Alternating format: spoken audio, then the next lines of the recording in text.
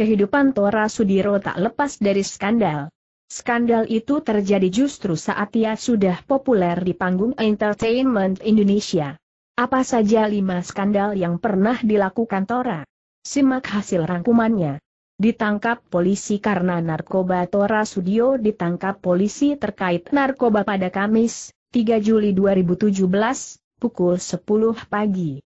Ia ditangkap di rumahnya di Bilangan Ciputat, Tangerang Selatan, bersama istrinya, Miyake Amalia. Menurut keterangan polisi, Tora dan Miyake ditangkap hasil pengembangan kasus sebelumnya.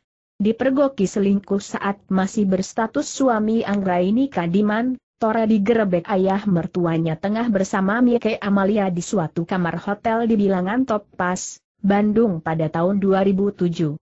Kabarnya, ketika itu Tora diseret keluar hotel oleh mertuanya.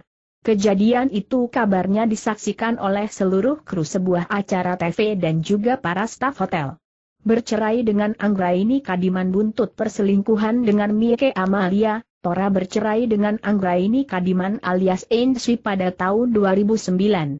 Tora diguguk cerai Enci ke pengadilan agama Depok dan dikabulkan.